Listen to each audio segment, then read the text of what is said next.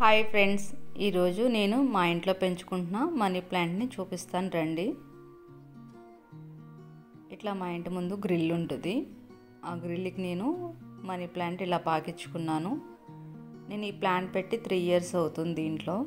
చిన్న రెండు కొమ్మలు పెట్టుకున్నాను. ఒక మూర కూడా ఉండవు అవి. ఈ చిన్న కుండీలో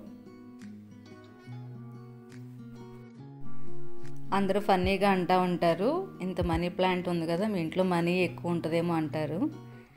మనీ అన్నది ఎక్కువ ఉంటుందో లేదో తెలియదు కానీ మనీ ప్లాంట్ పెడితే కానీ లుక్ వైజ్ అయితే చాలా బాగుంటుంది. ఇంటికి కళగా అనిపిస్తూ ఉంటుంది.